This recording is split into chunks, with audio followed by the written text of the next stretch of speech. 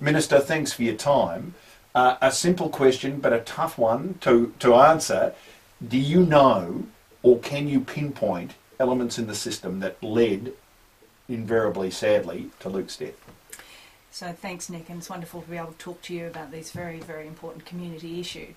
We have a, a dead child, we have a dead man, we have a grieving mother, and there are clearly uh, opportunities now to have a very good look at the system, how it worked, what happened in the police, what happened with the courts, so that we can identify uh, what happened and how and why, and if there were things that should have happened differently to prevent this in the future. At the moment, we don't have all of those details. That information is being gathered as we speak.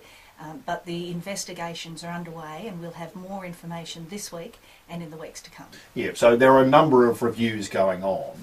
Do you, when realistically do you think those reviews will be finished and you can start? I mean, I, I can imagine in your position you were just chomping at the bit to do something. So when will you actually be able to do something, given you've got to let the reviews take their course?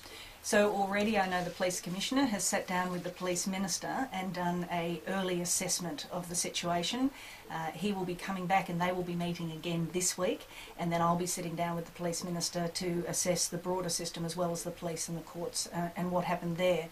The, child, uh, the Children's Commissioner, Bernie Geary, uh, will commence his investigation this week. Now, that does take a little bit longer because there's a very thorough process we have to look at.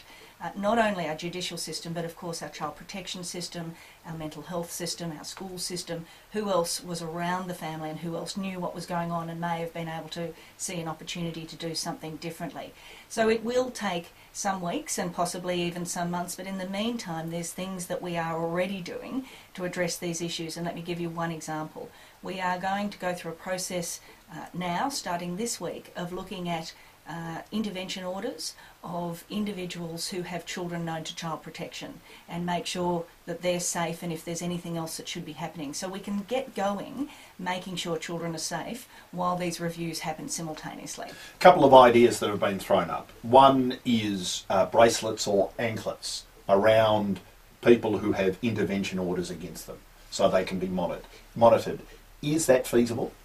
So it is feasible. For example, we have done that. The Minister for Corrections has done that uh, with sex offenders who yeah. are on leave. We're looking at that in terms of people with disabilities who have uh, criminal records uh, and them getting leave and being able to monitor them.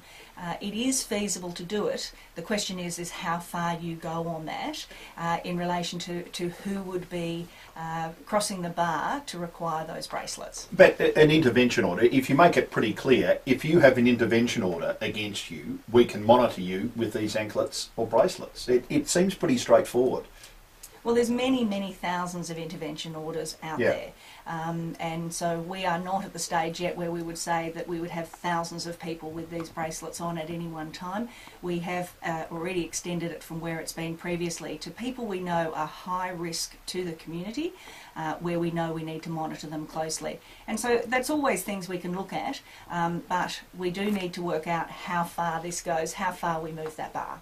Uh, now, it, just to, to pick you up on what you said, you've already got a number of people with them are there a number of people already with intervention orders with them on, or is it just on sex offenders at the moment? It, it's just been on sex offenders, okay. uh, and uh, we're having a look at it for people with a disability who have a criminal justice record who yeah. are getting leave um, from uh, disability forensic facilities. The other frustration as well, and it, it's one of those basic tenets of government, isn't it, that the uh, magistrates and the judges have to be separate from the political wing, and that's the, that's the way it is. But the frustration for all of us as members of the community, and obviously for you as a parliamentarian as well, is two elements. One is that twice the police opposed bail for Greg Anderson, and twice a magistrate gave him bail. And secondly, something that Bernie Geary raised with us on the Sunday morning program yesterday, and that is a change in attitude of magistrates towards intervention order in, in, uh, in giving the kids the benefit of the doubt rather than, in most cases, the father the benefit of the doubt. What, is there anything as a parliamentarian or a politician you can do about changing those attitudes of the judiciary. Absolutely, and I think that the Parliament uh, sets that tone, and the coalition government has taken a strong lead on this through the Attorney General Robert Clark. uh, we've put in new indictable offences for breaches of the family violence safety notices. We've tightened up bail laws so that if people breach their bail, they actually go to jail. They don't just get another bail episode and be back out in the community again. So these uh, areas have already been tightened, but we are always happy to look about how uh, that needs to go further if it does. Um, but we need to get these new laws into place. They, they came into uh, effect in the second half of last year. We need to see the impact that they're having and uh, in terms of keeping women and children safe. And if they need to go further, then we'll look at that absolutely. Uh, but I mean, you must be frustrated more than anyone, just as I'm frustrated, just as our, our listeners are frustrated at the fact that this magistrate. Uh, actually, I probably ignores too strong a word. It didn't take into consideration the police concerns about this man. Now, is there anything the government can do about that? So I can't comment on an individual case, you'll understand. Yeah. Um, and the review will certainly have a look at the details of that decision making. Uh, the judicial officers need to have all the information at hand to take uh, into account when making their decisions, but we do need to have the focus on keeping the community safe, keeping women and children safe, and that is an absolute commitment of this government. Okay, now these increases in report of domestic violence the police have said in the past it's more a case of uh, people reporting it rather than the actual domestic violence going up. Do you agree with that?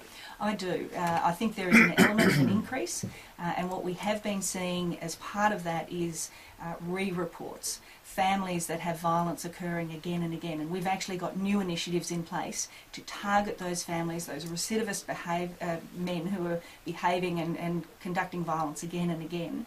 But uh, most of the increase, I do believe, is women having the confidence that they can report it and that something will happen as a result.